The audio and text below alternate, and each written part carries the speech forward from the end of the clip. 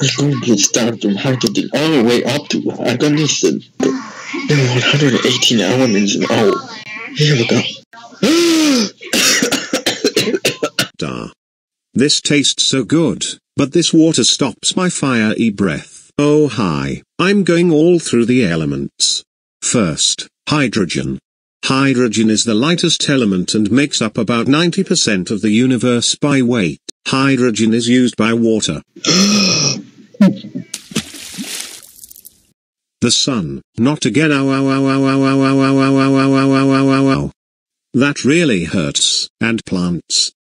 Plants needs water to survive. We all drink water each day. Hydrogen has unstable isotope called deuterium.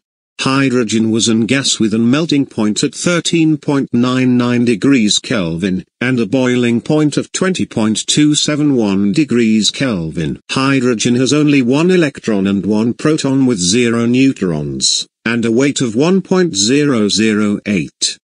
It is 75% of baryonic gas. The most common isotope of hydrogen is protium. Hydrogen was named after the Greek word, water forming. Most of the body inside was water. Our planet covers 70% of water.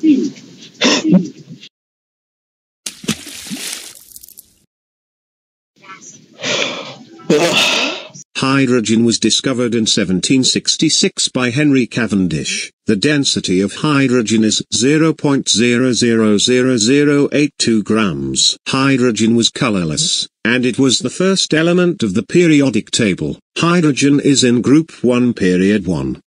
We all drink water to have energy. What is water? Water is a kind of liquid that we all needed to drink. That's all of hydrogen. Next, helium.